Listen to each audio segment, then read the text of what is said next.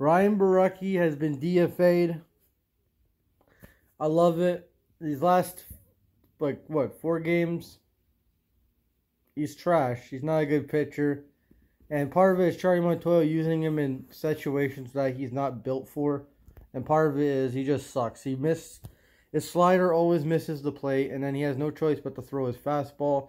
And his fastball is the fucking meatiest meatball of all time with some fucking parsley, basil leaves, uh, parmesan, you know, all that meatball ingredients, you know, with the ground beef. But, um, yeah, Ryan Borucki's gone.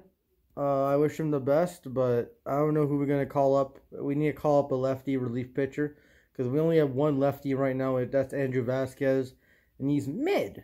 No, he's not mid. He's trash, but he did pitch good last game, but that's just one game.